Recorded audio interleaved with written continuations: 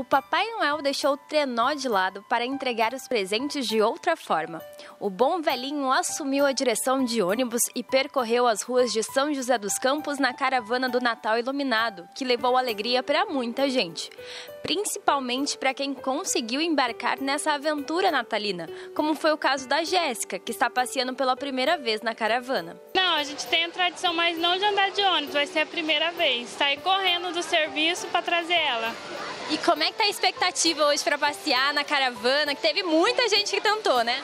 Muito ansioso, né, Duda? Não é a primeira vez que o Wanderson se veste de bom velhinho motorista. Para ele, não há sensação melhor do que ser contagiado pelo espírito de Natal. Muito gratificante, a alegria do, do pessoal é maravilhosa. É, você vê assim que pessoal fica muito da rua, eles ficam muito felizes vendo essa agitação que o pessoal tá, o pessoal passa, dá tchau. É muito, muito bom você ver isso.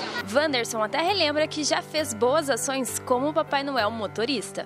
É, inclusive até o ano passado que eu fui Papai Noel também, me pediram para mim entregar uns presentes, entreguei presente, fui na casa de pessoas, de passageiros que pediram para me levar. A da caravana do Natal é justamente levar essa magia para todas as ruas de São José dos Campos. Serão mais de 300 quilômetros percorridos para levar a magia do Natal para todo mundo.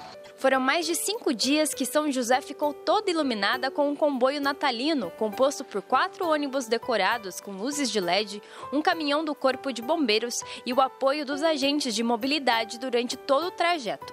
A nossa intenção né, da associação é levar o Natal para toda a cidade, para a Zona Sul, Leste, Oeste, Norte.